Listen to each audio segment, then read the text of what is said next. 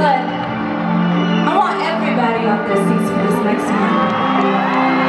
We're gonna turn the Hollywood Bowl into a motherfucking family reunion. Y'all hear me?